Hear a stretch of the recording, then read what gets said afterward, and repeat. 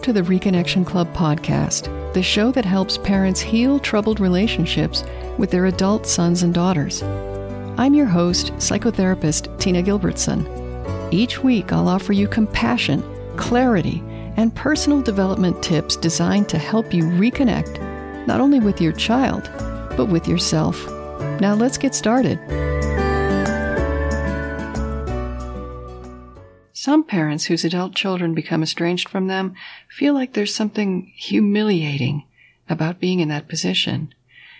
And in keeping with the definition of the word humiliated, they feel a loss of pride, of self respect, and even their sense of dignity can be shaken. Feeling humiliated is a terrible experience that we typically try to avoid in life because it taps into the shame that most of us secretly carry around with us all the time. So when I counsel some parents to consider adopting an attitude of humility in dealing with their estranged adult children, they feel torn. On the one hand, they instinctively know that humility is an attractive quality.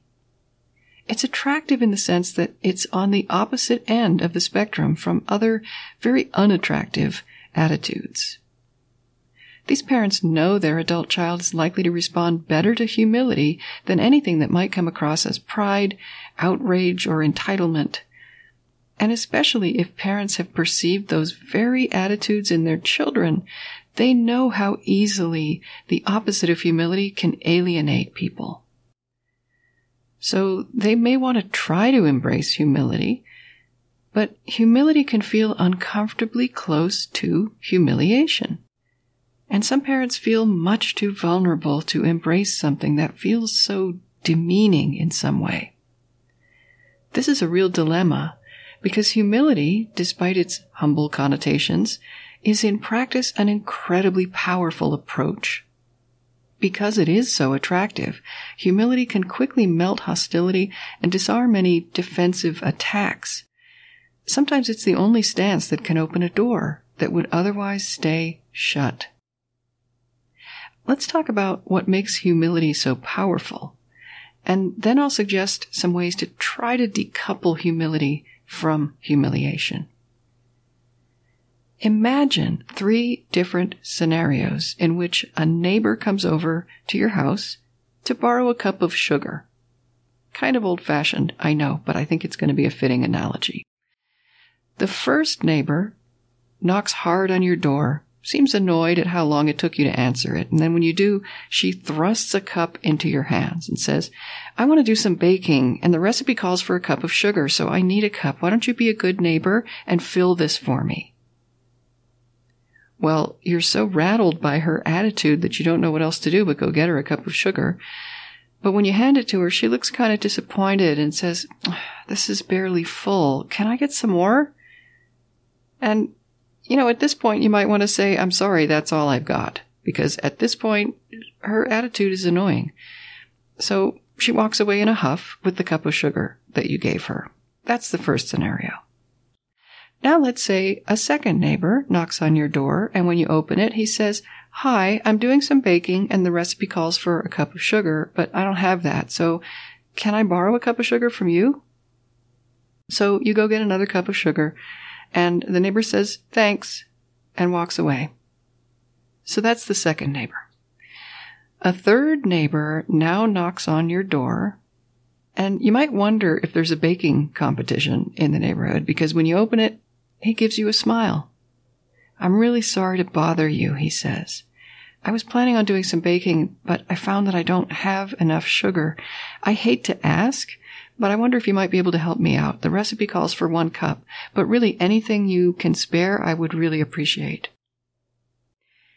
So you go to get him the last of your sugar, but you find that you only have about a teaspoon left because you gave most of it to the first two neighbors. When you offer this neighbor the teaspoon of sugar with apologies, he says, No, no, no, this is wonderful. I can easily make do with this. Thank you so much. I appreciate it. And he goes back to his house with a friendly wave. Now, I ask you, which neighbor do you most want to keep some sugar on hand for in the future? The first neighbor was arrogant and entitled. If you regret giving her any sugar, you're probably not alone. The second neighbor was polite, but otherwise not very engaging. The third neighbor expressed humility in at least four different ways. First, he treated you as important. Remember, he said, I'm sorry to bother you. Second, he addressed you with respect and courtesy throughout the interaction. Third, he expressed a complete lack of entitlement to any of your time, let alone your sugar. And fourth, he showed gratitude for what he received, even though it was far less than he needed. Those are all aspects of humility. Ranking yourself a little lower than the person you're addressing, speaking respectfully and with courtesy, forfeiting any notion of being entitled to someone else's time or resources, and being grateful for any and all offerings, no matter how small. In treating you this way, your humble neighbor probably made a more favorable impression on you than the other two did.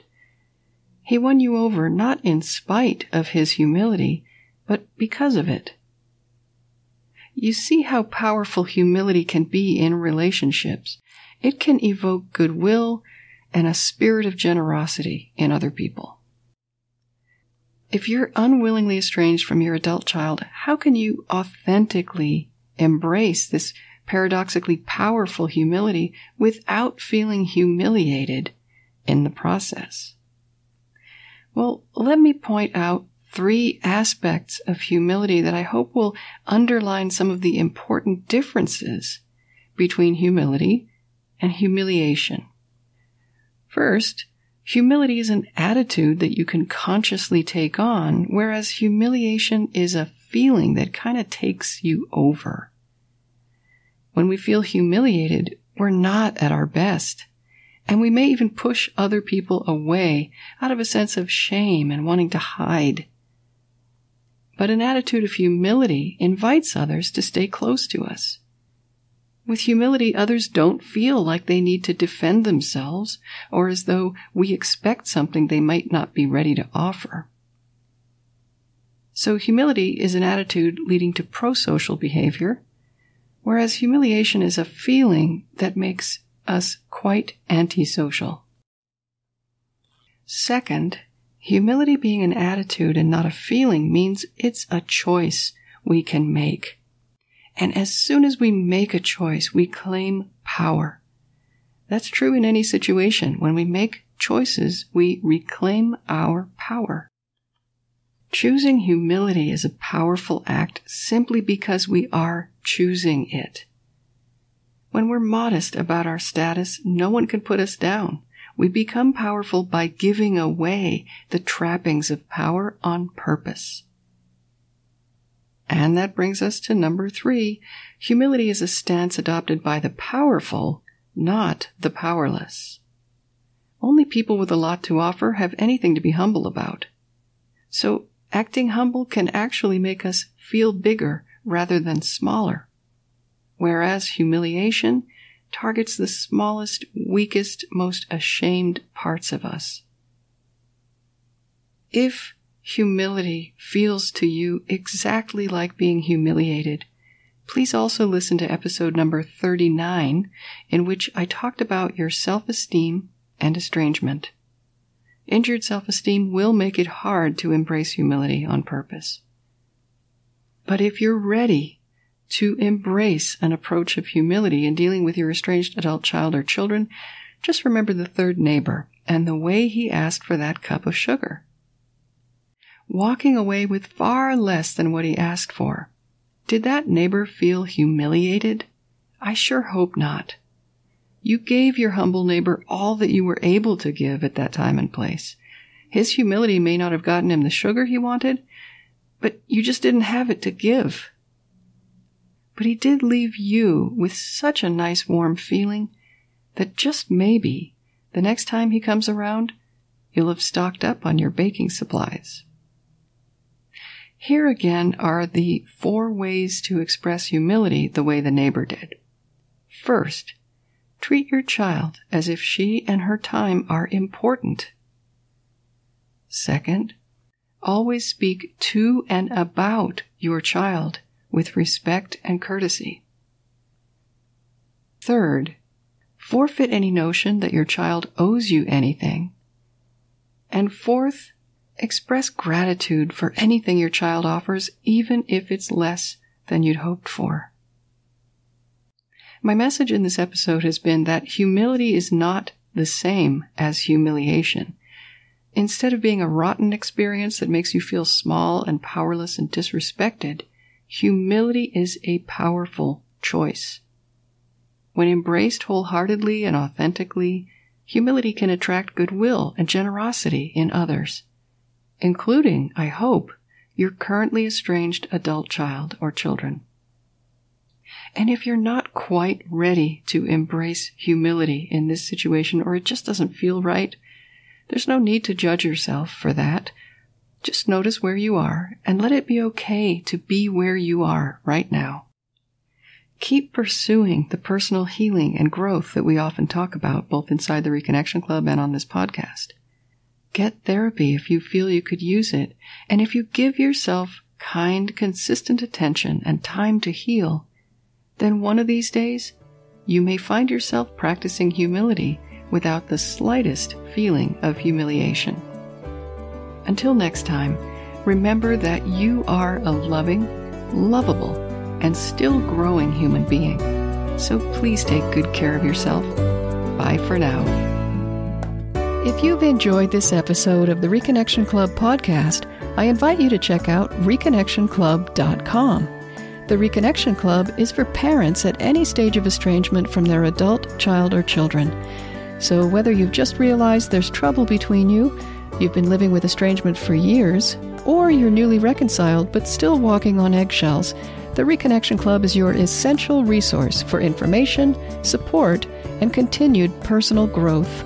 With our courses and workshops, expert interviews, monthly Q&A calls, and a friendly, active community, the Reconnection Club is a wonderful place to be for anyone suffering the pain of estrangement from an adult, child, or children. So check it out at reconnectionclub.com.